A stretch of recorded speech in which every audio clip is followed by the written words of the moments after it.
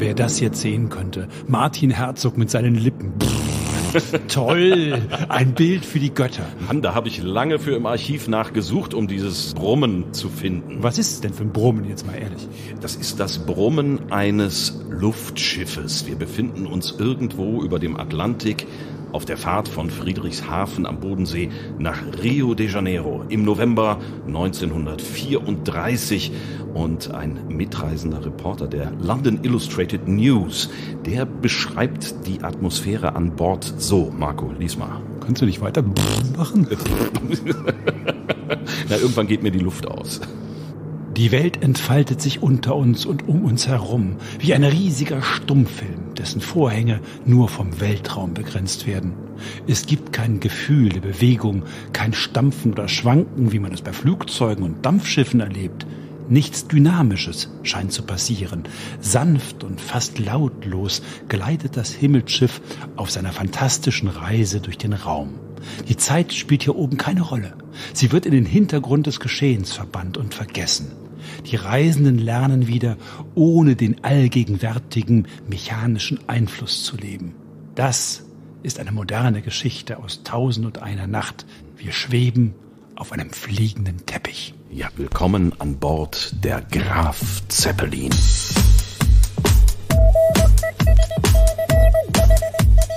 Die Geschichtsmacher. Von den Autorinnen und Autoren des Zeitzeichens.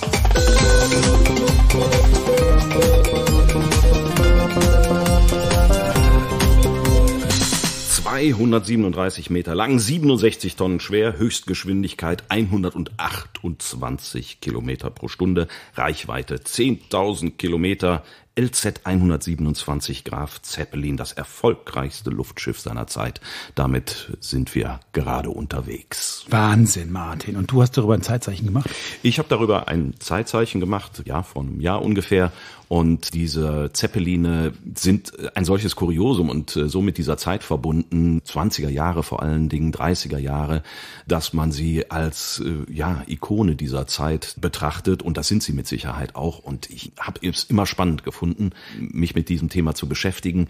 Aber es gibt da so ein paar dunkle Geheimnisse dieses Zeppelins und äh, des Grafen Zeppelins, des Erfinders dieses Luftschiffes, die dann bei meiner Recherche aufgekommen sind. Und mit diesen ja, kleinen Geheimnissen Geheimnissen, bösen, dreckigen Geheimnissen wollen wir uns heute auch beschäftigen. Schmutzige Wäsche waschen im Zeppelin. Heute mit Martin Herzog. Willkommen bei Die Geschichtsmacher. Aber bevor wir dazu kommen, vielleicht noch ein bisschen atmosphärisches aus dieser Zeit, einfach um diesen Luxus, den es damals an Bord eines Zeppelins gegeben hat, so ein wenig zu illustrieren. Der Reporter hat natürlich äh, da noch einiges drüber geschrieben, wie es so an Bord zugegangen ist. Auf dem Zeppelin werden von einem erstklassigen Küchenchef und seinen Gehilfen ausgezeichnete Mahlzeiten serviert. Eier und Speck, Langkoteletts und Kaviar, verschiedene Grillspezialitäten, frisches Gemüse und Schildkrötensuppe und andere Gerichte schmücken die Tische im Speisesaal. Sechsmal am Tag werden die hungrigen Passagiere mit Essen versorgt, denn der Appetit scheint auf Luftschiffen groß zu sein. Die Betten in den Kabinen und Prunkräumen werden tagsüber in luxuriöse Sofas verwandelt, die mit Chins Chins, das ist so mit Wachs überzogenes Leinwandgewebe. Das hat man damals gerne genommen, um die Wände zu tapezieren. Aber Chins sagt man ja. Chins, Chins, ja, ja, so heißt das. Die mit Chins bezogenen Wände blicken auf Schreibtische und pflichtbewusste elektrische Glocken. Hä? ja, da hat's wohl öfter mal gebimmelt an Bord. Okay. Der Komfort in den neuen Luftkreuzern ist zu einer Art Kissen geworden. Immer in Reichweite. Die 20 Passagiere an Bord können sich, obwohl sie sich in 400 bis 3000 Fuß Höhe befinden, wie hoch sind wir da? 400, das sind äh, so 120, 130 Meter bis 1000 Meter ungefähr. Okay, also in dieser knappen bis maximal ein Kilometer Höhe wie in jedem Hotel verhalten. Mit der wichtigen Ausnahme, des Rauchens. Natürlich, ja. ja, ja. Das ist schlecht. Rauchverbot an Rauchverbot. Bord. Ja, also vielleicht doch eher nichts für dich. Aber eigentlich. Ich bin äh, seit einem Jahr abstinent. Darf ich das, das, das müssen wir auch nochmal betonen. Ja, bitte. Genau, richtig. Aber Rauchen war an Bord eher schwierig, weil dieses Luftschiff ja mit Wasserstoff gefüllt war und das verträgt sich nicht so richtig mit Rauchen beziehungsweise mit der Glut von Zigaretten. Deswegen Rauchverbot. Aber äh, wenn du das so liest, also mir geht's jedenfalls so, ich würde da gleich mal mitfahren. Ich würde Essens. Wegen des Essens. Wegen des Essens und der Aussicht schon, ja, genau. Ist natürlich die Frage, ob sie so einen armen Schlucker wie dich überhaupt mitgenommen hätten. Äh, ne? Vermutlich nicht. Nee. Was, was hat also, das so, was, was hat denn so eine Reise gekostet? Also war, war wahrscheinlich nicht ganz billig. Ähm, die Reise war nicht ganz billig. Die hat bis Rio de Janeiro, weiß ich es nicht, aber bis nach New York äh, hat es damals 450 bis 500 Dollar gekostet. Und wenn man das umrechnet auf die heutige Währung, dann ist man so bei 14, 15.000 US-Dollar. Also äh, ich sag mal, selbst erste Klasse mit einem modernen Passagierflugzeug muss man nicht so viel bezahlen. Also es war schon richtig teuer und es waren ja auch nur 25 Leute maximal an Bord als Passagiere, die dann von 60 Leuten Besatzung betreut worden sind. Das klingt nach einer schönen Art des Reisens.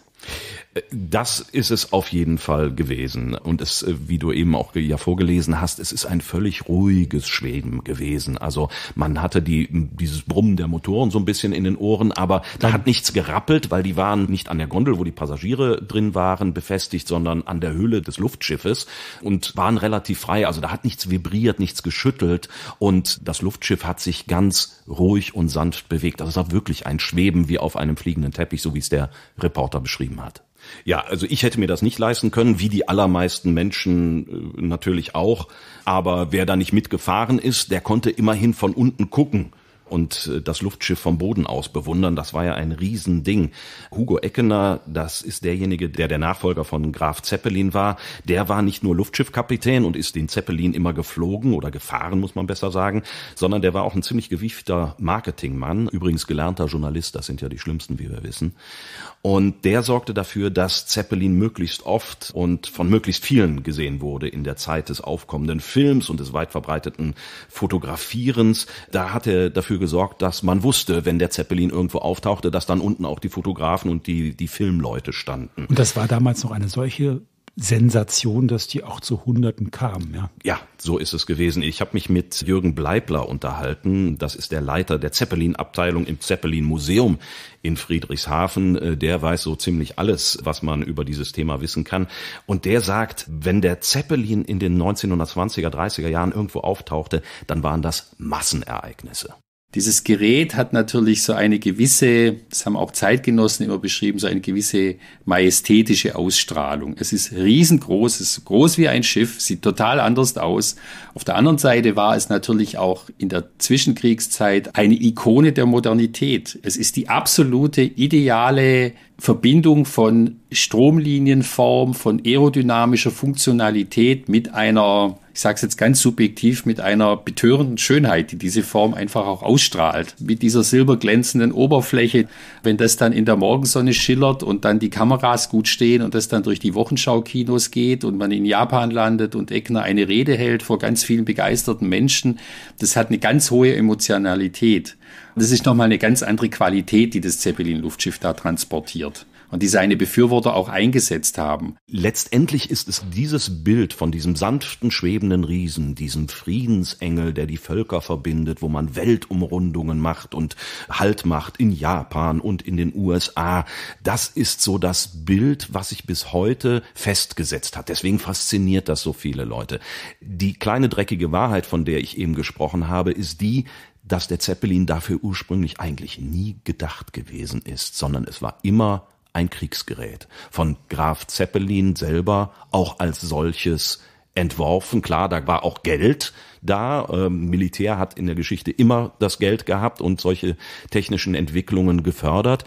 Aber es war Graf Zeppelin immer ein Anliegen, dieses Gerät eben auch als Waffe einzusetzen. Das heißt, was wir jetzt machen müssen, ist die Reise rückwärts von einem Gerät, was den Himmel erobert und Völker verbindet, eigentlich zurück zu seinen Ursprüngen in die Zeit, wo dieses Ding dafür gebaut worden ist, um andere Menschen zu vernichten.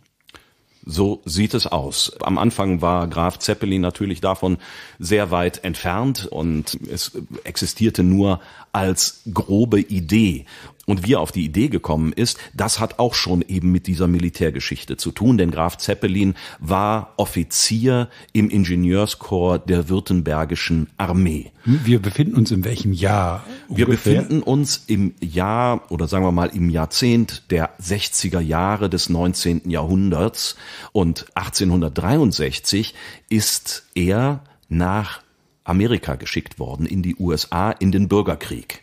Aha. Er wollte da auch unbedingt hin, um zu beobachten, was es dort an neuen kriegstechnischen Entwicklungen geben würde.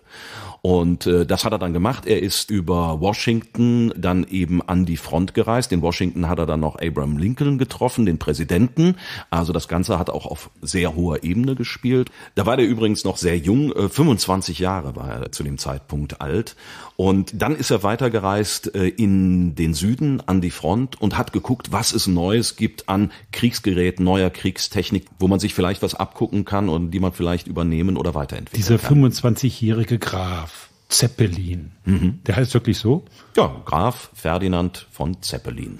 So, jetzt dieser Graf Zeppelin reist jetzt da durch die USA und guckt sich, wie sich die Amerikaner gegenseitig im äh, Bürgerkrieg die Köpfe einhauen und will da was lernen nämlich wie man sich effektiver die Köpfe einhaut. Ja, so ist das. Wenn man zum Ingenieurkorps gehört, dann geht's natürlich auch um Waffenentwicklung und Aufklärung. Und für Grafen Zeppelin war das im Prinzip ja so eine Art Erweckungserlebnis ist jetzt vielleicht zu hoch gegriffen, aber es war schon ein Wendepunkt und für ihn die wichtigste Reise in seinem Leben, sagt Jürgen Bleibler vom Zeppelin Museum.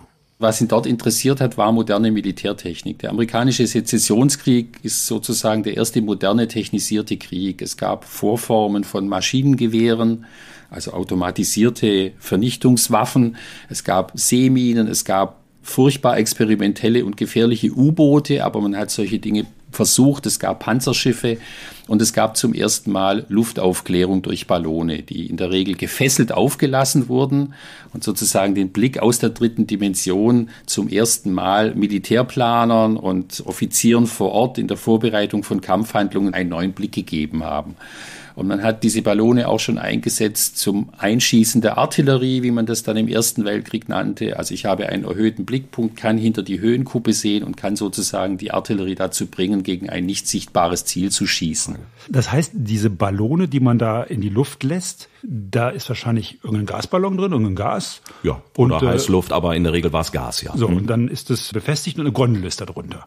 Genau, das ist im Prinzip, wie man einen Drachen aufsteigen lässt. Nur mit jemandem, der da nur mit jemandem drin, der hat dann irgendwie ein Fernrohr oder so und der guckt dann über die Hügel auf das Schlachtfeld auf die andere Seite und identifiziert dann Stellungen, die es lohnt, mit der Artillerie zu beschießen. Das war die Aufgabe dieser Balance. Und Zeppelin war von dieser Möglichkeit der Feindaufklärung total begeistert. Er hat darüber auch in einem Brief berichtet, den er damals an seinen Vater geschrieben hat. Äh, vielleicht magst du den auch mal gerade vorlesen. Soeben bin ich mit Professor Steiner, dem berühmten Aeronauten, zu einer Höhe von sechs bis siebenhundert Fuß aufgestiegen. Kein Turm, keine Höhe ist hoch genug, um die Verteilung der Truppen des Verteidigers auf dem sanften, offenen Hang hinter seiner Gefechtslinie zu zeigen. Aus der hohen Stellung des Ballons war sie vollständig zu überblicken. Sollte man die auf jenem Hange aufgestellten Reserven mittels Artillerie beunruhigen, äh, beunruhigen, beschießen. ah ja, okay. So könnte der Batterie durch Zeichen telegrafiert werden, wie ihre Geschosse fallen. Ah. Letzteres ist bei den hiesigen Armeen zuweilen mit großem Erfolg geschehen. Kein Mittel ist geeigneter, um rasch den Plan einer ungekannten und namentlich einer ohnehin vom Feind besetzten Gegend aufzunehmen. Ja, im Prinzip schwärmt er da von einem schwebenden Wachturm. Äh, das einzige Problem bei der ganzen Geschichte ist, dass diese Ballons eben an einem Seil hängen. Und wenn sie das nicht tun, sind sie halt dem Wind ausgesetzt und schweben einfach dahin, wo der Wind sie hintreibt. Die sollen aber natürlich dahin, wo man sie braucht. Also steuerbar sollen sie sein. Und von da an lässt den guten Grafen die Idee nicht mehr los, so etwas zu entwickeln, so einen steuerbaren Ballon, das ist seine fixe Idee und in den folgenden Jahren denkt er immer wieder darüber nach. So trägt er 1874, also da sind wir dann zehn Jahre später, Gedanken über ein Luftschiff in sein Tagebuch ein, wenn du den Abschnitt auch nochmal lesen könntest. Ich bin jetzt also wieder Graf Zeppelin. Das Fahrzeug würde auf die Dimension eines großen Luftschiffes auszurechnen sein die Gasräume so berechnet, dass das Fahrzeug bis auf ein geringes Übergewicht getragen wird.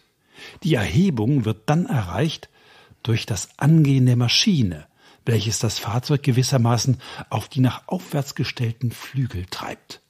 In der gewollten Höhe angelangt, werden die Flügel weniger steil angestellt, sodass das Luftschiff in der horizontalen Ebene bleibt. Also die Idee war, dass das Luftschiff so viel Auftrieb erzeugt, dass es so gerade schwebt und dass dann der eigentliche Höhengewinn über Dynamik erreicht wird. Also dann gehen die Rotoren an und die Propeller treiben das Luftschiff dann nach vorne und dadurch gibt's Auftrieb und dadurch schwebt das Ganze.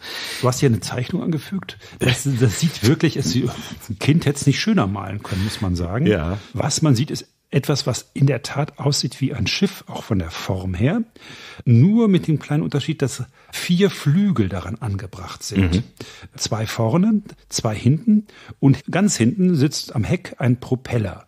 Da hat das Ding nochmal so eine Aufrisszeichnung. Dann sieht man, dass da offenbar ein Motor angebracht ist mit einer, ja, mit einem sehr sehr kindisch gemalten Getriebe, ja. Weißt du, der Mann ist Ingenieur, ne? Also man ist schon erstaunt, dass das so eine doch eher kindliche Zeichnung ist. Ne? Ja, ich kenne, ich kenne Zeichnungen aus Kindergärten, die sehen besser aus, muss man wirklich sagen. Aber immerhin Flaggen vorne und hinten, also. Äh, das, das Wichtigste, ist das Wichtigste ist dran, eine und, und die Rumpfform ist schon auch deutlich erkennbar. Also Luftschiff hat er da sehr wörtlich genommen. Äh, das hat auch die Form, den Kiel eines Schiffes. Und es hat mehrere Etagen offenbar, weil ja. wenn man da vorne guckt, dann sieht man so Treppen, da geht's so rauf und runter. Ne? Ja, ja, also das ist schon als als großes, wirklich großes Luftschiff angelegt. Der hat da nicht in klein-klein gedacht, äh, der Graf Zeppelin. Naja, aber wenn man sich das so anguckt, ähm, ist es nicht ganz so überraschend, dass daraus nichts wirklich geworden ist. Jedenfalls diese Zeichnung und all seine Überlegungen äh, verschwinden erstmal in der Schublade. Der Mann ist ja immerhin noch Offizier und hat eine Tagesbeschäftigung. Vielleicht wäre auch nie etwas aus dieser Idee geworden, wenn Zeppelin nicht zu Beginn der 1890er aus der Armee geschmissen worden wäre. Da musste er sich dann nämlich was Neues suchen. Er wird aufgrund einer Intrige, man konstruiert ihm Unfähigkeit bei einem Manöver als Kavallerieoffizier, als Führer einer Einheit aus dem Militärdienst verabschiedet, 1891, 92, also mit 52, 53. Und jetzt nimmt er etwas aus der Schublade, was ihn all diese Jahre vorher so als schweifendes Hobby beschäftigt hat. Und das ist die Realisierung eines großen Luftschiffes. Und das nimmt er raus und macht daraus auch aus persönlicher Zurückgesetztheit, aus Kränkung über den Verlust dieses von ihm sehr geliebten Offiziersberufes, daraus die große nationalpatriotische Aufgabe. Das heißt, er will es allen zeigen. Der geschasste Militär. Ja. aus einer Kränkung entsteht so etwas wie der Zeppelin. Aber dafür braucht er natürlich erstmal eins, nämlich Geld. Also er braucht Leute, er braucht äh, Werkstätten, wo man sowas bauen kann. Und dazu schreibt er 1891, also gerade aus der Armee entlassen, einen Brief an den Kabinettschef des Königs von Württemberg. Euer Exzellenz, eingedenk des hohen Interesses, das seine Majestät der König vor einigen Jahren an den Fortschritten der Luftschifffahrt zu nehmen geruhten, beehre ich mich, Euer Exzellenz zu bitten, allerhöchst demselben davon Kenntnis geben zu wollen, dass ich beabsichtige, demnächst Luftfahrzeuge zu bauen, von deren Lenkbarkeit auch bei starken Windströmungen ich überzeugt bin da die schnelle, von keinen Hindernissen auf der Welt abhängige Art zu reisen, welche meine Luftschiffe ermöglichen sollen, von größter Bedeutung für Zwecke des Heeres und namentlich der Flotte sein wird, so erachte ich es für Pflicht, vor weiteren Schritten als demjenigen der Anmeldung bei dem Patentamte die Reichsregierung auf meine Erfindung aufmerksam zu machen. Ja, das ist natürlich jetzt äh, bisschen gestelzt formuliert. Bisschen ne? gestelzt, aber, ja, sehr, ähm, sehr unterwürfig natürlich, aber in eben dem Stil der Zeit ist immerhin König, äh, dem er schreibt. Ne? Ja, natürlich. Und äh, kriegt er Geld? Nee. Also anbeißen mag trotz aller Unterwürfigkeit äh, niemand, also nicht der König von Württemberg und schon gar nicht der deutsche Kaiser Wilhelm. An den richtet er sich nämlich auch und an sein Kabinett, aber das wird alles abgelehnt, denn da glaubt weder das Militär noch sonst irgendjemand dran, dass mit dieser komischen Luftschiff-Idee irgendein Staat zu bauen ist. Mittlerweile, weil er dauernd diese Bittbriefe schreibt. Das ist nicht der einzige Brief, den er schreibt. Nein, nein, nein. Der, wie gesagt, der auch an den deutschen Kaiser Wilhelm er bettelt. Äh, bettelt er und handelt sich damit den Titel ein, der Narr vom Bodensee, weil das halt so eine spinnerte Idee ist. Und Kaiser Kaiser Wilhelm hat für ihn sogar einen ganz besonderen Titel. Der dümmste aller Süddeutschen. Ich glaube, in dieser frühen Luftfahrtwelt ging es nicht ohne ohne Spinnerei, ohne Sturheit, auch ohne die Bereitschaft sozusagen, sich der Lächerlichkeit preiszugeben oder seine Existenz aufs Spiel zu setzen. Und das war jetzt bei ihm nicht so das Thema. Also viel wurde finanziert über das Vermögen seiner Frau, das muss man auch sagen. Und er hat natürlich auch mit seiner Rolle als Adeliger, der aber auch weiß, wovon er redet, wenn er von Krieg und Militär redet, hat er natürlich auch kokettiert, hat sich da auch sehr clever inszeniert und natürlich war er auch schon privilegiert aufgrund seines Status gegenüber vielen Altersgenossen, Gleichaltrigen, die Ähnliches versucht haben und dann halt äh, im Irrenhaus gelandet sind. Also hier gibt's natürlich auch die sozialen Schichtungen. Wer kann sich wie viel Spinnerei leisten? Man muss sich auch klar machen, dass er sich als technischer Laie in diese Fachwelt reinbegeben hat, in diese damalige Ingenieurswelt. Und diese Emotionalisierung, die Begeisterung auch breiterer Massen mit dieser nationalen Aufladung, die kann natürlich erst kommen, als das erste Luftschiff am Himmel war. Ja, aber das hat dann erst mal zehn Jahre gedauert, bis es wirklich dann am Himmel zu sehen war. Nun stellt sich ja die Frage, wenn das ja schon in den USA als Spionagemittel mhm. durchaus äh, mhm. als Ballon zumindest existiert hat, dann ist dieser Schritt zu sagen, das Ding muss einen Propeller haben und fliegen können, ja gar nicht so weit. Ich gehe mal davon aus, dass auch andere daran gearbeitet haben. Ja, und vor allen Dingen der Erzfeind damals, die Franzosen haben daran gearbeitet und waren im Übrigen auch schneller als der Graf Zeppelin. Da gab es in den 1880er Jahren das Militär, man horche auf, Militärluftschiff La France, natürlich hieß es so. und auch da war eben das Militär daran interessiert und äh, hat das finanziert. Das erste steuerbare Luftschiff, 50 Meter lang, 9 PS mit Elektromotor angetrieben tatsächlich. Oh, umweltfreundlich. Kann man so sagen. Aber das war natürlich dann mit den Batterien, die es dafür brauchte, auch sackschwer. Und ähm, ja, es hat insgesamt nur sieben Fahrten veranstaltet mit zwei Mann Besatzung. Das waren die beiden Konstrukteure, die da mitgefahren sind und danach ist es mehr oder weniger wieder verschwunden. Warum? Ja, das Hauptproblem, und das hat mit der Zeit zu tun, in der es entwickelt worden ist, dieses erste Luftschiff, das sind zwei. Zum einen die Motorentechnik in den 1870er, 80er Jahren, die war einfach noch nicht so weit. Und das zweite Problem war, dass die La France, also dieses erste französische Luftschiff, eine weiche Hülle hatte.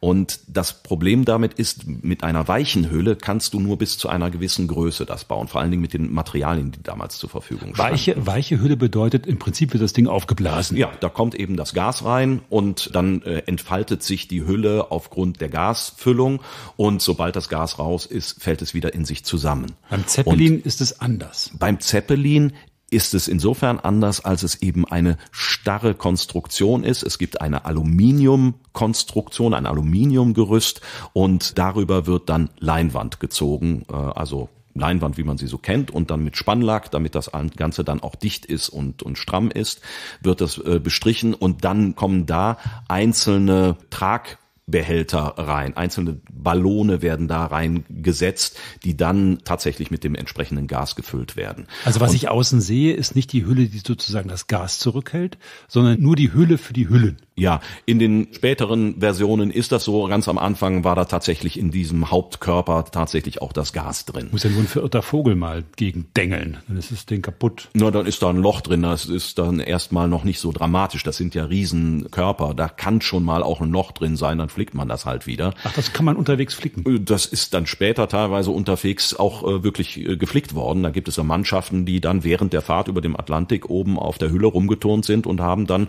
zum Beispiel Löcher repariert. Ja, das war, das war möglich. Also nur, dass da so ein kleines Loch drin ist, bringt das Ding noch nicht zum Abstürzen. Aber was eben der Vorteil dieser starren Konstruktion ist, dass es viel, viel größer gebaut werden kann als die mit einer weichen Hülle. Und das hat der Graf Zeppelin mit Werbe verfolgt und das hat lange, lange gedauert, bis er dann erfolgreich gewesen ist. Und deswegen wurde es darüber das Jahr 1900, genau im Juli 1900, ist er dann zum ersten Mal über den Bodensee öffentlich mit einem Zeppelin geschwebt. Das war das LZ-1, Luftschiff Zeppelin 1. Und am Rand des Bodensees standen 12.000 Zuschauer und offenbar auch ein Reporter, der hat Folgendes geschrieben. In Friedrichshafen unternahm Graf Zeppelin seine erste abenteuerliche Reise durch den Weltraum. Durch den Weltraum? Ja, es war ein englischer Reporter, der schrieb mit Space. Ich habe das mal mit Weltraum übersetzt. Also durch den, durch den Raum, kann man sagen. Durch den Weltraum mit dem Luftschiff das einige der wildesten und daher beliebtesten Kapitel der halbwissenschaftlichen Schülerromane in nüchterne Tatsachen verwandelt hat. Bei seiner denkwürdigen ersten Probefahrt, bei der er sich vorwärts, rückwärts und seitwärts bewegte, stieg er bis zu einer Höhe von über tausend Fuß auf und legte in einer Viertelstunde 3,3 Meilen zurück. Aha. Also wir, wir befinden uns auch in der Zeit der Jules Verne-Romane ja, offenbar. Genau, genau. Und äh, nicht nur Jules Verne hat äh, über solche fliegenden Geräte spekuliert, sondern da gab es eben auch alle möglichen Billigromane und, und das, Geschichten. Das meint er mit diesem Schülerroman. Genau, genau. Das, was uns so irgendwelche ähm, ja, fantastischen Zukunftsromane erzählen, das wird hier Wirklichkeit über genau. den Boden sehen. Und plötzlich sieht man dieses Gerät tatsächlich da schweben. Und dieser englische Reporter von der Illustrated London News war von dieser ganzen Geschichte offensichtlich sehr angetan. Der Artikel fällt sehr, sehr freundlich aus und verschweigt, dass äh, das Luftschiff nach 18 Minuten notwassern musste. Ach, weil da wohl eine, ist im Bodensee gelandet. Ja, ist im Bodensee gelandet. Also die äh, Plattform, auf der dieses Luftschiff gebaut wurde, der Hangar, schwamm auch auf dem Bodensee. Und weil man da eben gute äh, Möglichkeiten hatte, es war alles platt, und weil man Angst davor hatte, auf festem Boden zu landen, hat man gedacht, okay, wenn das Ding runtergeht, dann ist es auf dem Wasser immer noch besser aufgehoben als an Land. Mhm. Und ja, da ist es eben genotwassert, weil äh, irgendeine Kurbel gebrochen ist, womit man diesen Körper, diesen Schwebelkörper austrimmen konnte. Dann hat es drei Monate gedauert, bis das wieder repariert war. Und dann die zweite Fahrt, da wurde das äh, Schiff vom Wind abgetrieben, weil die vier Daimler-Motoren, die das angetrieben haben, zu schwach gewesen sind. Und drei Tage später erneut ist man gestartet. Damals schon dann in Anwesenheit des Königs von Württemberg. Der hatte also zwar kein Geld gegeben, aber doch offensichtlich Interesse angemeldet. Und von diversen Militärbeobachtern. Aber so richtig überzeugt war man nicht. Das Urteil lautete dann, das ist ein wertvoller wertvolles Versuchsstück, aber militärisch nicht verwendbar. Äh, Zeppelin wollte das eigentlich verkaufen und mit diesem LZ1 in Serie gehen, aber das äh, hat nicht funktioniert. Er ist kein einziges Exemplar losgeworden und musste dann seine Mitarbeiter entlassen und LZ1 zerlegen, um seine Ausstände zu begleichen. Also er hatte schlicht und ergreifend Schulden. Aber es, offenbar, er ist ja später sehr erfolgreich geworden, wissen ja, wir. War das nicht, war LZ1 nicht der, zwar das erste, aber nicht das letzte Luftschiff? Nee, äh, Zeppelin ging sofort LZ2 an. Das war im Prinzip nichts anderes als eine verbesserte Version von LZ1. Wo nimmt das Geld her? Ja, das ist halt äh, wieder so eine Sache. Was macht man, wenn man kein Geld hat? Bewährte Möglichkeit, äh, Keine an Geld Ahnung, zu kommen. verrat's mir, verrat's mir, verrat's mir jetzt aber sofort. Na, man veranstaltet eine Lotterie. Ach so. Ja, ne, okay. Das ist, äh, hat man immer gerne gemacht. Und da kommen auch äh, 12.000 Mark, Reichsmark zusammen. Außerdem schaffte er es aus dem Sondervermögen der Reichsregierung 50.000 Mark zu bekommen und Zeppelin privat steckt auch nochmal 100.000 Mark in diese Geschichte. Also privat heißt jetzt nicht unbedingt er, sondern seine Frau. Die hat ihm das offensichtlich alles finanziert. Muss Liebe wohl gewesen sein. Ja, und äh, dann dauerte das Ganze aber bis 1905. Und beim ersten Startversuch wurde der Zeppelin an die Hallenwand gedrückt und musste zwei Monate repariert werden. Der nächste Versuch endete mit einer Bruchlandung auf einem Acker und der völligen Zerstörung des, des Zeppelins in der folgenden Nacht durch Gewitter. Ja, und dann ist es natürlich relativ wenig überraschend, dass sich äh, das Volk, was da am Bodensee lebte, langsam über den guten Grafen und seine Fehlversuche lustig machte. Und da existierten dann auch schöne Kinderreime. Ich habe da mal einen mitgebracht, Marco. Magst du mal? Lange kam vom Schwäbschen Meer sonderbare Kunde her, dass dort einer, der wohl toll gar das Fliegen lernen woll. Zippel, zappel, Zeppelin, Zeppelin ist wieder hin.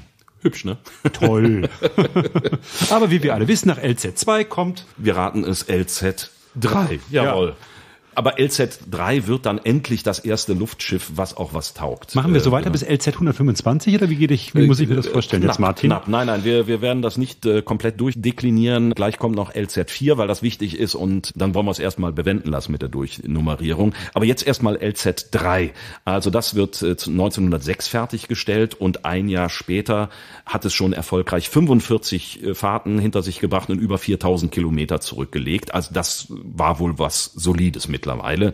Funst. Und, und zur Demonstration reiste dann sogar auch Kaiser Wilhelm an und das Militär beißt an. Und das Ganze blieb auch im Ausland nicht unbemerkt. Also man hat da vor allen Dingen von Großbritannien aus auch schon sehr interessiert und auch ähm, ja mit einer gewissen Vorsicht auf diese ganze Geschichte geguckt. Auf dem Bodensee hat Graf Zeppelin weitere Versuche mit seinem neuen Luftschiff durchgeführt, für das das deutsche Kriegsministerium die Summe von 100.000 Pfund zu zahlen bereit ist, sobald es 24 Stunden am Stück in der Luft bleiben kann. Am Montag schwebte Graf Zeppelin etwa sechs Stunden lang über dem Bodensee. Er konnte eine Durchschnittsgeschwindigkeit von 35 Meilen pro Stunde beibehalten, wenn er sich geradeaus bewegte. Ja, also woher dieser Reporter die Summe von 100.000 Pfund hat, weiß ich nicht. Der Reichstag bewilligte dem Grafen drei Millionen Reichsmark zum Ankauf von diesem LZ3. Und das wurde dann 1908 zu Versuchszwecken ins Heer übernommen. Und außerdem erhielt Zeppelin eine halbe Million Mark zur Entwicklung von, na? Ah, jetzt kommt LZ äh, 4. Ja, Richtig, genau. Und äh, ja, mit der Entwicklung von LZ4, das ist besonders wichtig, weil damit die Phase beginnt, in der der Zeppelin ja von einer technischen Kuriosität und einem technischen Wunder zu einem Prestigeprojekt des Deutschen Kaiserreiches wird. Das sagt jedenfalls der Jürgen Bleibler vom Zeppelin Museum. Nichts, was damals flog und was man über sich sehen konnte, war auch nur annähernd so groß wie dieses Ding. Also der LZ4 war 139 Meter lang, so groß wie ein Panzerkreuzer und schwebte über den Köpfen. Und das ist natürlich etwas, was die Fantasie beflügelt hat, was diesem Ausdruck von Macht und von Selbstbewusstsein, den das Ding verkörpert hat, eben auch physischen Ausdruck verliehen hat. Es ist eben auch groß. Und Karl Klausberg hat mal vom Staatsfallus der zu spät gekommenen Nation gesprochen. Und da ist sicher auch was dran. Also das hat mit Dimension zu tun und mit, mit Aufladungen in unterschiedlichsten psychologischen und auch soziologischen Hinsichten. Der Zeppelin als Schwanzverlängerung, als fliegender Pimmel von Kaiser Wilhelm II. Ja, den er auch äh, stolz vor sich hergetragen hat, um im Bilde zu bleiben. Mit LZ4 hat das angefangen und äh, setzte sich dann mit den folgenden Zeppelinen fort. Aber was besonders wichtig war, ist, dass LZ4 eine 24-Stunden-Fahrt durchgeführt hat. Mit 15 Passagieren sind die vom Bodensee entlang des Rheins über Straßburg bis Mainz und wieder zurück. Und diese Strecke entlang des Rheins und über Straßburg, die ist nicht zufällig. Am Rhein entlang war der mit Abstand wichtigste Punkt die Überquerung von Straßburg, der Hauptstadt des Elsass nach dem Krieg 1870-71 mit französischen schmerzhaften Gebietsverlusten verbunden, also für Frankreich ein Symbol der Niederlage und für das Deutsche Kaiserreich ein Symbol des Sieges und der Macht. Und Straßburg war die einzige Stadt, die vorher über die voraussichtliche Ankunft informiert wurde, damit man Fotografen aufstellen konnte. Die Belichtungszeiten waren ewig, da musste man richtig da sein, damit Begrüßungskomitees auf der flachen Plattform des zweiten Münsterturms stehen konnte, damit man beflaggen konnte, damit man Musikkapellen aufgestellt hat. Und diese Fotos und diese Darstellung LZ4 mit dem Straßburger Münster, das wurde ein ikonisches Bild in dieser Zeit das massenhaft verbreitet wurde auf Werbematerialien, auf Aluminiummedaillen, auf Anhängerchen für Mädchen, auf Gesellschaftsspielen und was auch immer. Und das zeigt natürlich auch diese, diese bildhafte politische Aufladung dieses Dings. Also es wird zum großdeutschen, zum deutsch-nationalen Symbol dieses LZ4 und mit ihm natürlich auch der Graf Zeppelin. Und das, obwohl diese Fahrt ja ziemlich unrühmlich geendet ist, nämlich bei Echterdingen südlich von Stuttgart auf dem Rückweg. Da musste LZ4 notlanden und da hat es dann das Schicksal von LZ2 erlitten. Es ist durch ein Gewitter zerstört worden. Für Zeppelin aber war das Unglück eigentlich ein Gottesgeschenk, so seltsam das klingt. Es geschah nämlich das Wunder von Echterdingen. Er hat nämlich durch diesen Bruch und durch die Zerstörung Aufmerksamkeit bekommen und Hilfsbereitschaft im ganzen Reich. Die internationale Presse hat sogar berichtet und dann wurde die Zeppelin-Spende des deutschen Volkes eingerichtet. das war damals die größte freiwillige Spendenaktion im Deutschen Reich. Die Spende begann spontan an dem Platz nach dem Ereignis des Verbrennens und wurde dann eine breite Massenbewegung, in die natürlich auch die Industriellen, die an dem Weiterleben der ganzen Geschichte aus eigenem Interesse interessiert waren oder auch aus nationalem Impetus, aber eben auch die, die Rührspenden der Kinder und der Dienstmädchen, die in Zehner schicken und all das. Und all das wurde natürlich auch entsprechend kommuniziert und pressetechnisch vermarktet. Und so wurde das Zeppelin-Luftschiff dadurch zu einem nationalen Anliegen. Und das Spannende ist, dass dann danach ja immer auch noch Schiffsverluste da waren, ja. Und je mehr Schiffsverluste kamen, desto größer wurde eigentlich der Glauben an das System. Denn das Luftschiff mit seiner Erhabenheit ist etwas Majestätisches. Und der Zweifel an ihm ist Majestätsbeleidigung. Und das sollte man nicht tun. Also so wird es in einer für uns heute kaum noch nachvollziehbaren Weise aufgeladen. Ja, der Zeppelin wird also sozusagen zu einer nationalen Aufgabe und die Weiterführung dieses Programms äh, quasi zur Staatsräson. Und deswegen sammelt der gute Graf Zeppelin mit dieser Spendenaktion sechs Millionen Reichsmark ein, was dazu führt, äh, dass er sich erstmal um Geld keine Gedanken mehr machen muss und äh, gründet die Zeppelin GmbH, die es im Übrigen auch bis heute noch gibt. Die bauen neben Zeppelinen auch Baugeräte. Das sieht man manchmal so an Baustellen. Da steht da Zeppelin dran. Ja, ja, genau. Okay. Also das gibt's bis heute im Prinzip. Also der hat sich an dieser Spendenaktion gesund gestoßen.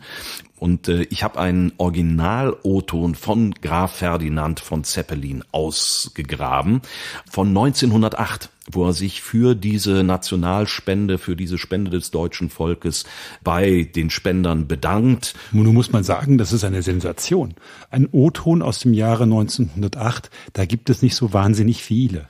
Nee, der hat also, das, der muss das aufwendig auf einer Wachswalze aufgesprochen haben. Ja, Richtig, genau. Das waren damals Walzen, die besprochen worden sind. Und da gibt es im Prinzip heute noch eine Handvoll davon. Und einer davon ist eben diese Dankesrede von Graf Zeppelin an das deutsche Volk. Ist das verständlich für uns? Gut zuhören. Man muss sich zusammenreißen. Ja. Okay. Meine Luftschiffe werden bald zu den betriebssichersten Fahrzeugen zählen, mit welchen weite Reisen bei verhältnismäßig geringster Gefahr für Leib und Leben der Insassen ausführbar sind. Mit froher Zuversicht darf das deutsche Volk demnach annehmen, dass es sich mit seiner hochherzigen Spende einen gangbaren Weg zur wahrhaftigen Eroberung des Luftmeeres aufgetan hat. Dass es bald im Besitz von Luftschiffen sein wird, die zur Erhöhung der Wehrkraft und damit zur Erhaltung des Friedens beitragen. Wenn mir noch ein paar Jahre des Schaffens geschenkt werden, so werde ich das seltene, hohe Glück haben, den vollen Erfolg einer bedeutsamen Erfindung, zu deren Werkzeug ich erkoren war, erleben zu dürfen. Zum Nutzen und zum Heile des Vaterlandes. Ja, das war vielleicht jetzt doch ein bisschen schwierig zu verstehen, äh, wer das nochmal nachlesen möchte. Wir haben ja immer ein Transkript der jeweiligen Episode und da findet sich auch dieser O-Ton ausgeschrieben. Da kann man nochmal genau nachschauen, wie es klingt. Das Transkript findet ihr unter www.diegeschichtsmacher.de. Wie auch alle anderen Informationen zu dieser Episode und allen anderen wunderbaren Folgen dieses Podcasts. Ja, das Luftschiff zur Erhaltung des Friedens, das ist das, äh, was er da verkündet. Das klingt natürlich super, aber Zeppelin wusste natürlich auch, was er in der Öffentlichkeit sagen muss und wie er sich vermarktet. Zeppelin ist ja 1838 geboren, war also kein ganz junger Mann mehr, als er das alles gemacht hat. Und er inszeniert sich natürlich als Beherrscher der Lüfte, als neuer Ersatz Bismarck, auch als Einigungsfigur in diesem doch nicht so ganz einhelligen deutschen Reich, in diesem Kaiserreich. Und es ist jetzt eben das Heilsversprechen militärischer Überlegenheit. Und natürlich waren die Zeppelin-Luftschiffe vor dem Ersten Weltkrieg auch militärische Drohgebärden gegenüber Frankreich, aber vor allem gegenüber Großbritannien, wo 1908, 9 zum ersten Mal auf den britischen Inseln Alarmglocken zu schrillen begannen, bei der Presse, bei Politikern, bei Militärplanern und dadurch natürlich auch in der Bevölkerung, die gesehen haben, ein nächster Krieg wird ein anderer sein und die übermächtige Royal Navy, gegen die ja das Kaiserreich äh, versucht hat anzurüsten, aber dieses Wettrüsten nie hätte wirklich gewinnen können. Und so schuf das Zeppelin-Luftschiff eine neue militär- und machtpolitische Komponente in dieser Zeit. Also ganz besonders in Großbritannien wurde man unruhig und ähm, da gab es dann eben auch zu dieser Zeit schon Debatten im Unterhaus darüber, wie man diesen Rückstand gegenüber Deutschland aufholen könnte. Darüber berichtet auch wiederum die Illustrated London News. Im Parlament gab es eine ernsthafte Diskussion über die Luftfahrt für Kriegszwecke. Herr Haldane, das ist der Kriegsminister damals. Herr Haldane teilte mit, dass die Admiralität für die Marine ein starres Luftschiff vom Typ Zeppelin gebaut habe und dass das Kriegsministerium bald im Besitz von drei nicht starren Luftschiffen sowie zwei Flugzeugen sein werde. Beim gegenwärtigen Stand der Konstruktion sei der Nutzen dieser Instrumente für den Krieg nicht sehr groß, aber es sei unerlässlich, dass wir vorankommen, und er sei zuversichtlich, dass wir die anderen Länder einholen werden. Dazu muss man wissen, dass es damals eine große Diskussion gab und die Frage war, was wird denn jetzt das Rennen machen? Die Luftschiffe, also die Luftfahrt leichter als Luft oder Flugzeuge, denn die waren ja auch noch ganz in den Kinderschuhen. 1908, 1909, da gab es die ersten ja, halbwegs flugfähigen Flugzeuge. Doppeldecker. Doppeldecker. Dreifachdecker. Ja, auch, auch Eindecker hat man versucht äh, und alles Mögliche. Da gab es die kuriosesten Konstruktionen.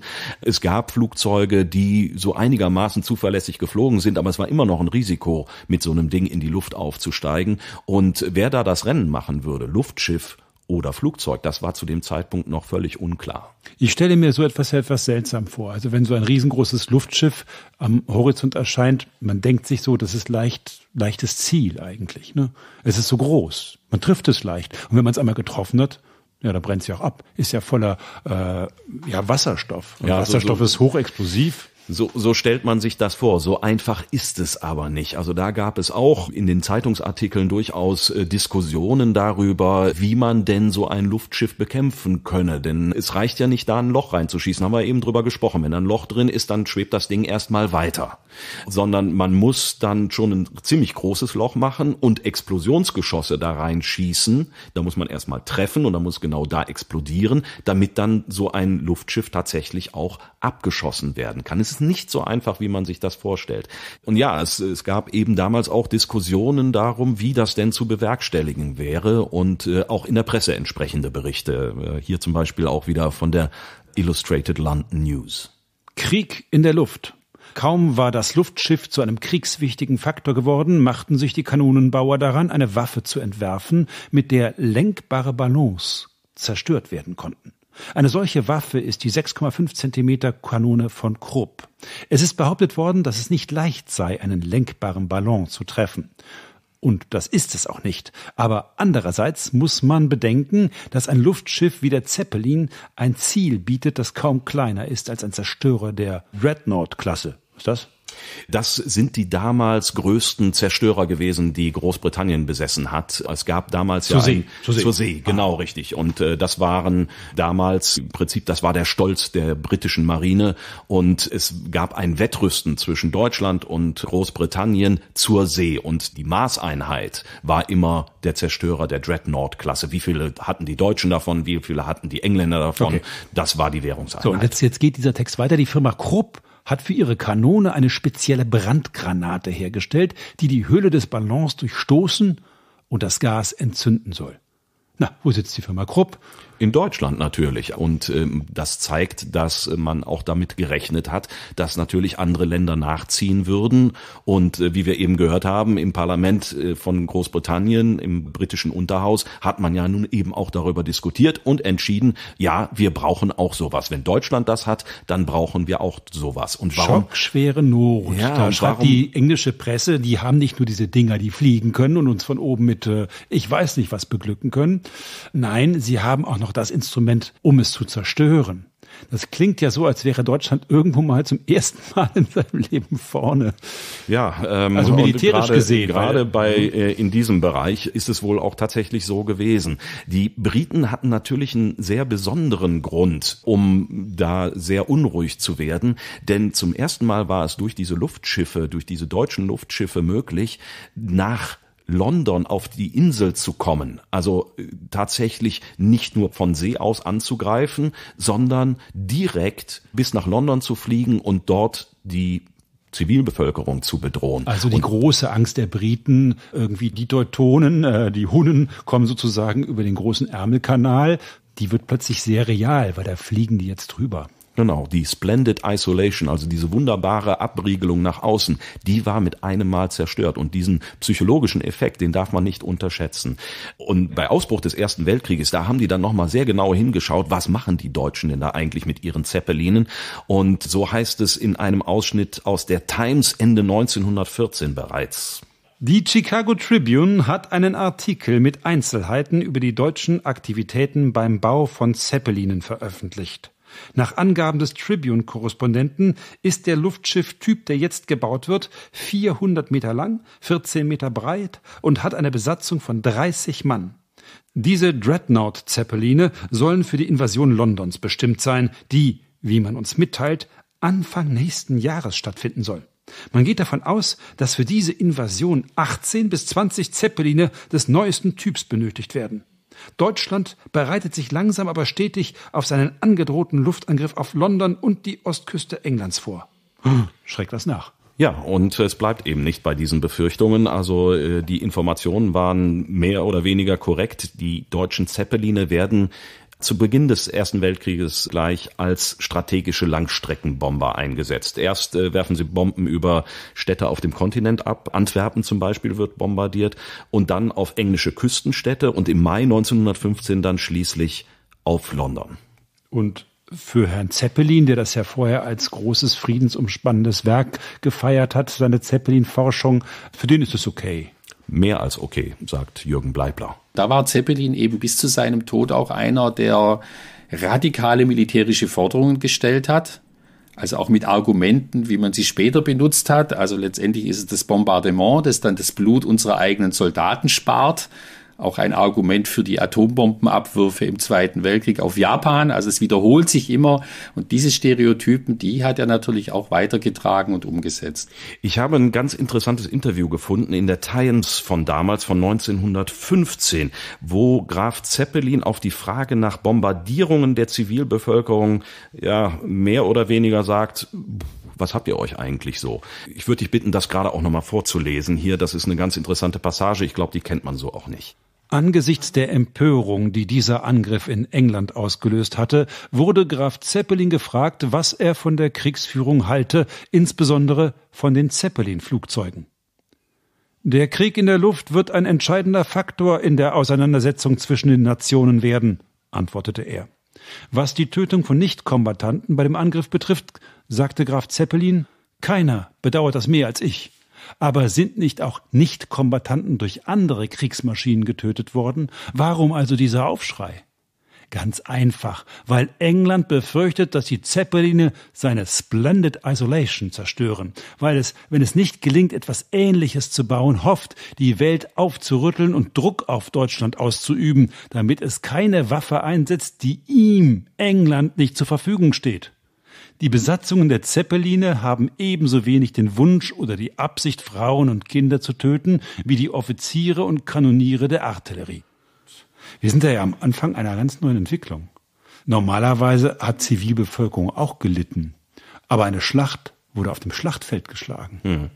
Und jetzt kommen die Bomben eben mitten in die Stadt und in dem Fall mitten nach London. Und das hat schon noch eine andere Qualität. Es ist psychologisch wichtig, ja, glaube ich auch, ja, weil ja. der Krieg damit wesentlich weiter gefasst wird.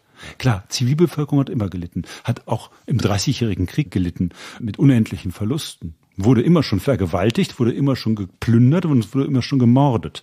Aber dass plötzlich ein riesengroßes Luftschiff am Himmel auftaucht und irgendwas runterwirft und dann am Ende sind Menschen tot, das ist schon neu. Ja, es ist im Prinzip aus dem Nichts heraus kommen dann eben fallen diese Bomben auf die Köpfe und der Widerstandswille, der sich daraus ergibt, der äh, hat eben auch eine sehr große Rolle gespielt und war dann eben auch für die britische Propaganda extrem wichtig.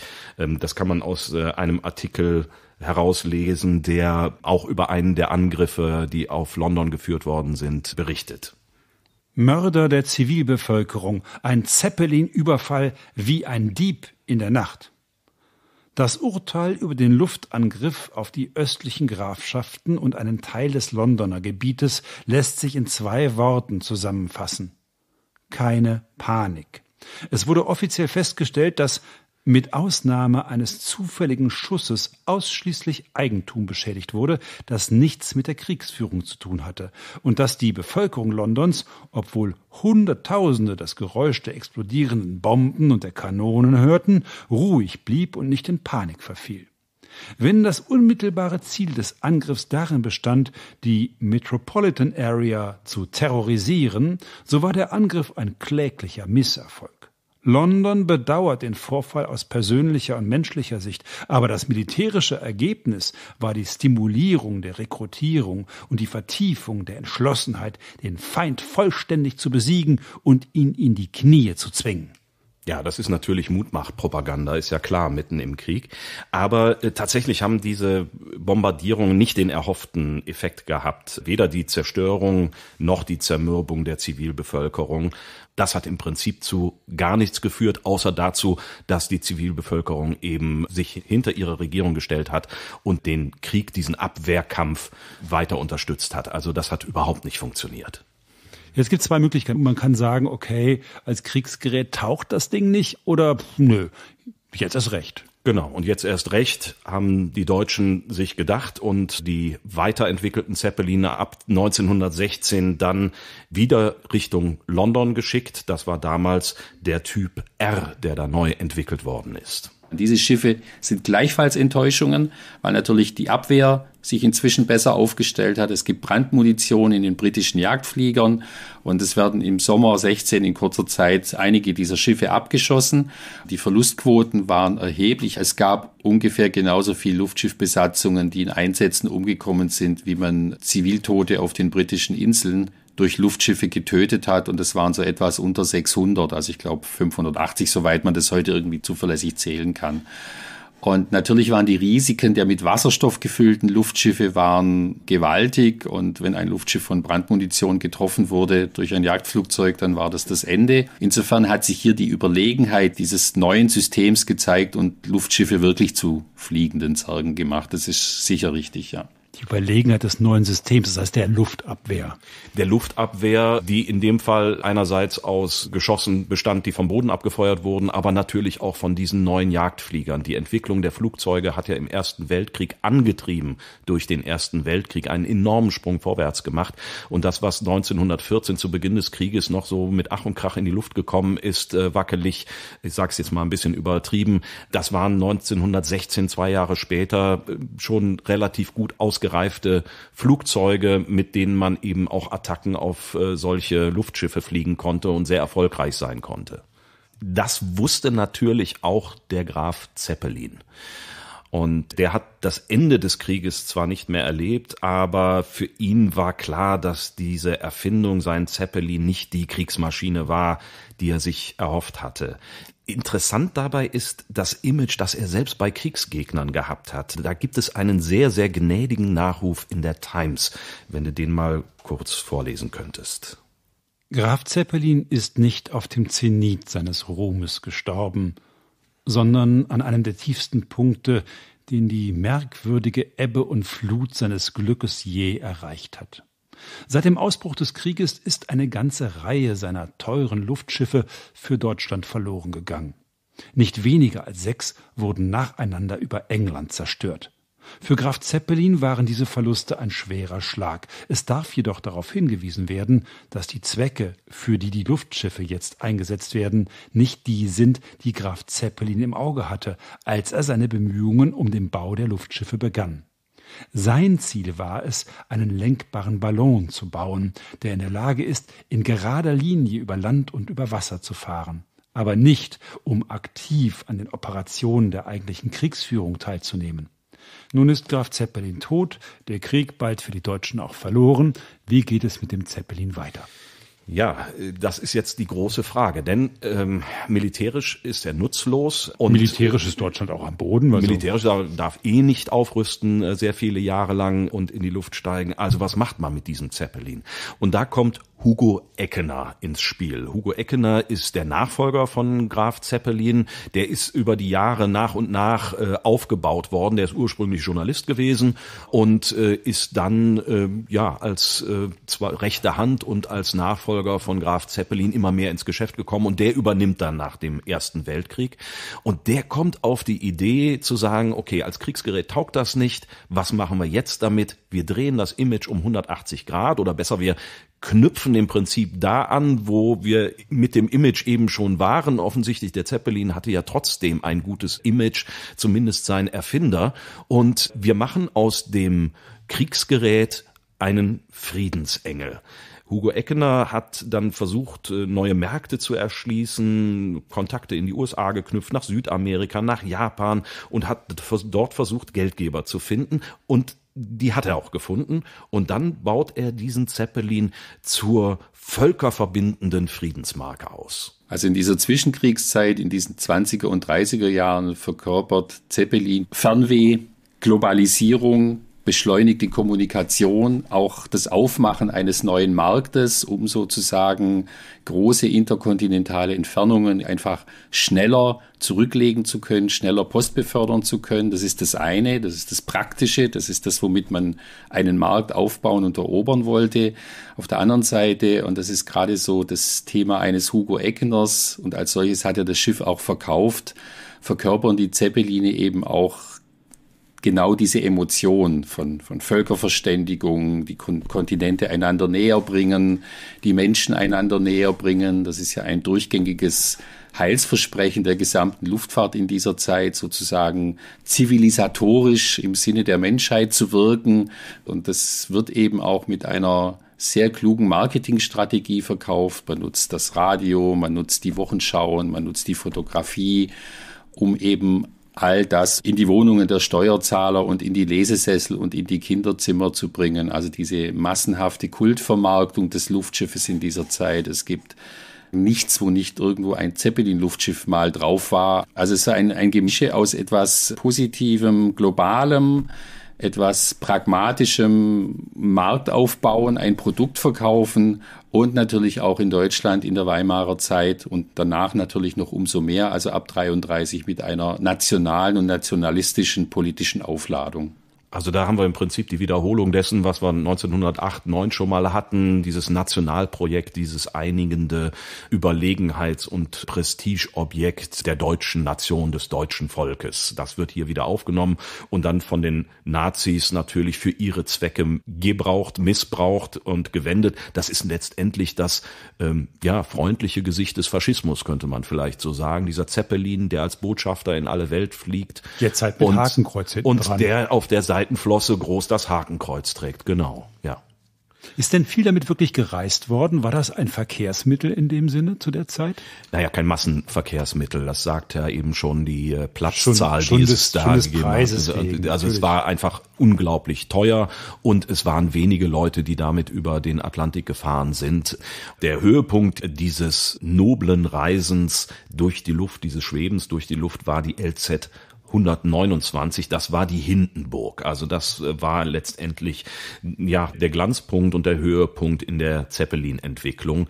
245 Meter lang, man muss mal die Daten einfach äh, sich auf der Zunge äh, zergehen lassen. 245 Meter, 45 Meter hoch, 242 Tonnen schwer und gefüllt mit 200.000 Kubikmetern hochentzündlichen Wasserstoff.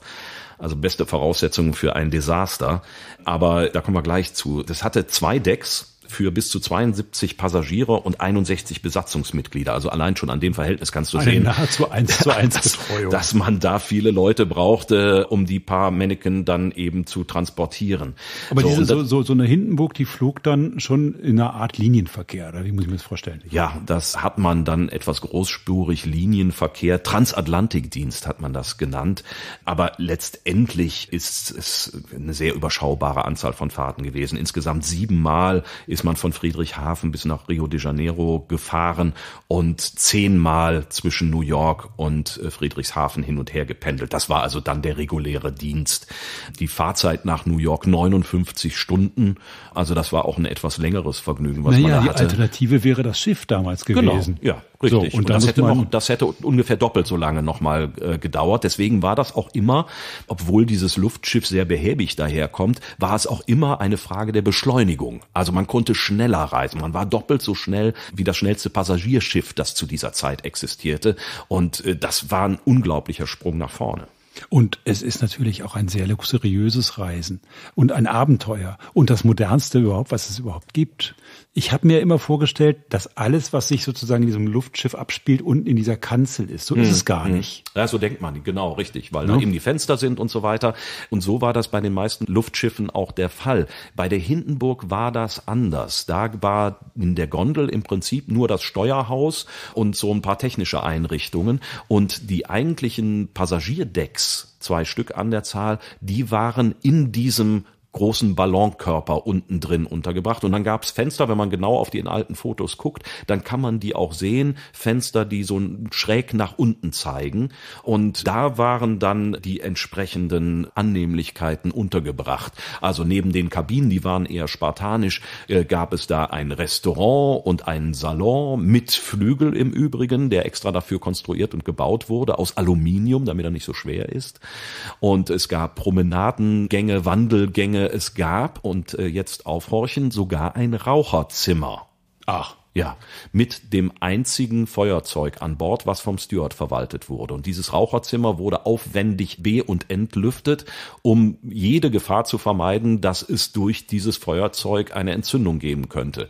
Und Rauchen war verboten äh, in den allermeisten Luftschiffen, in der Hindenburg nicht. Da konnte man sich eben in das Raucherzimmer zurückziehen und dort eine in Ruhe durchziehen. Nun wissen wir alle, das Ende der Hindenburg grausam. Ja. Nichts ist, glaube ich, bekannter als eine Reportage über das Ende der Hindenburg, eine Radioreportage. Damals, glaube ich, entstanden in New York. Genau, es war eben einer dieser Transatlantikdienste, wo die Hindenburg mal wieder erwartet wurde. Ich habe ja eben gesagt, es waren nicht so viele Fahrten, die da tatsächlich stattgefunden haben. Und deswegen war das auch immer noch ein Riesenereignis, immer wenn die Hindenburg, wenn dieses deutsche Luftschiff ankam und in Lakehurst, das war der Flughafen oder das Flugfeld, wo die Luftschiffe abgefertigt wurden. Und wenn da eben das Luftschiff ankam, dann waren da immer Tausende von Menschen. Und als die Hindenburg 1937 dann bei einer dieser Fahrten wieder in Lakehurst ankommt, warten da eben nicht nur Zehntausende von Menschen, sondern auch ein Radioreporter. Und äh, was der zu berichten hat, fassungslos zu berichten hat, das hören wir uns mal an, einer der berühmtesten Töne des 20. Jahrhunderts. It's starting to rain again. It's, the rain had uh, slacked up a little bit. The back motors of the ship are just holding it uh, just enough to keep it from... It bursts into flames. Get it, Charlie. Get it, Charlie. It's fire and it's crashing. It's crashing terrible. Oh, my. Get out of the way, please. It's burning bursting into flames and, and it's falling on the mooring mast and all the folks agree that this is terrible. This is one of the worst catastrophes in the world. It's a terrific crash, ladies and gentlemen. The smoke and the flames now, and the frame is crashing to the ground, not quite to the mooring mast. All the humanity and all the passengers screaming around it. I, I can't talk, ladies and gentlemen. Honestly, I, I can hardly breathe. I, I'm going to step inside where I cannot see it. Charlie, that's terrible. I, I, I, listen, folks, I, I'm going to have to stop for a minute because I've lost the voice. This is the worst thing I've ever witnessed.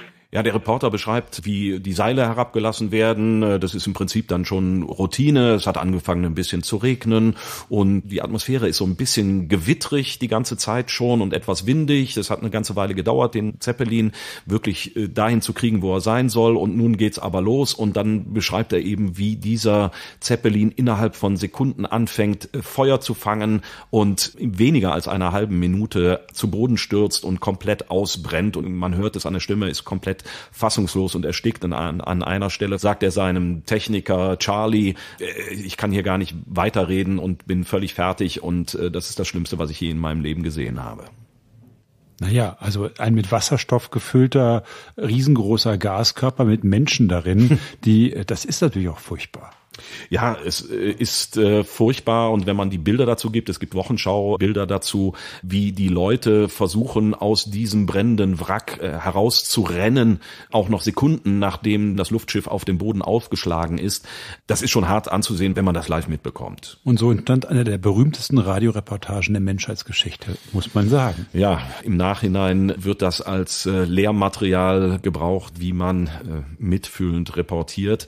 Das Ganze ist als eine der größten Luftfahrtkatastrophen in die Weltgeschichte eingegangen, äh, wobei es gar nicht, wenn man das jetzt mal ja, relativieren möchte, äh, es gehört nicht mal zu den Top Ten der größten Katastrophen der Luftfahrtgeschichte, aber es existiert eben diese Reportage darüber und es existieren die Bilder und die sind nun wirklich sehr spektakulär. Aber hat irgendjemand aus diesem Luftschiff überlebt?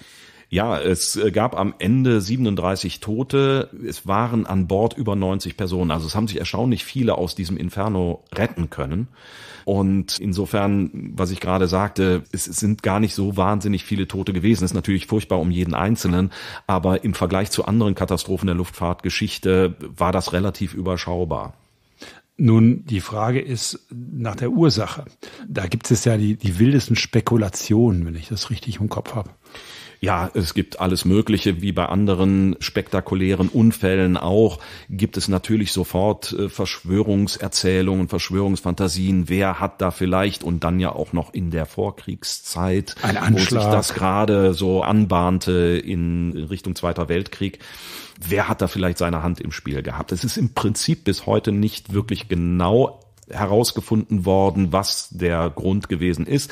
Klar ist, es war sehr gewittrig und es gab verschiedene Untersuchungsberichte, die dann eben auch versucht haben, mögliche Ursachen auszumachen.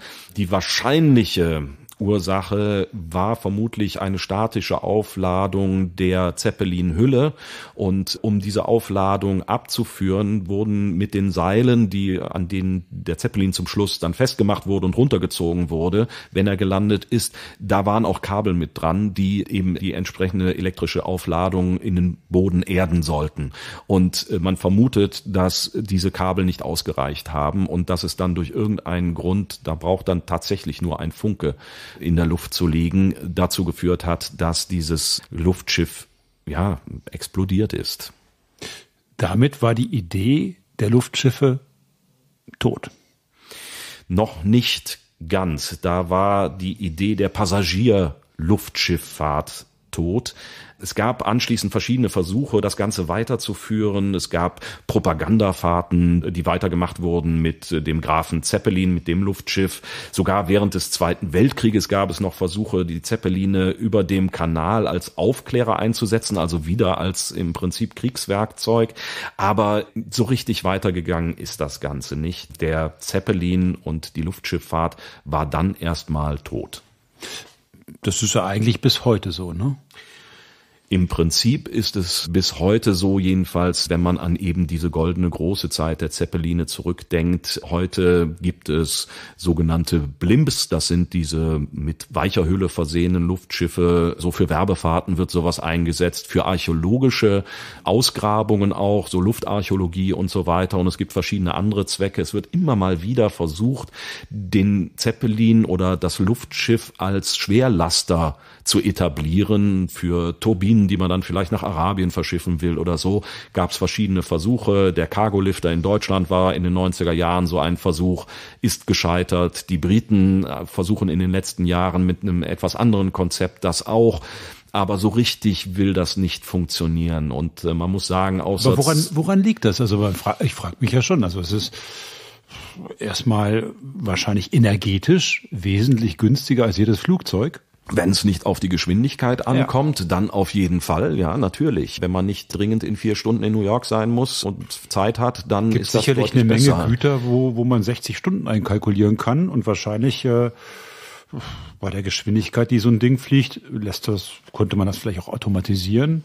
Da gibt es alle möglichen Ideen und Konzepte, aber wie das halt immer so ist, der Teufel liegt im Detail und äh, offensichtlich, was so einleuchtend und klar auf den ersten Blick scheint, ist, wenn es dann an die technische Umsetzung geht, dann offensichtlich doch schwierig. Sonst hätten sich eben nicht die, die Deutschen an diesem Thema verhoben in den 90er Jahren. Es gibt noch die Cargolifter Halle in Brandenburg, südlich von Berlin das ist heute so ein Tropenbad, so ein Spaßbad. Das war damals die größte freitragende Halle Europas, wo man eben diese Zeppeline, diese neuen Luftschiffe bauen und äh, versorgen wollte und von wo aus es dann in alle Welt gehen sollte mit dem Frachttransport.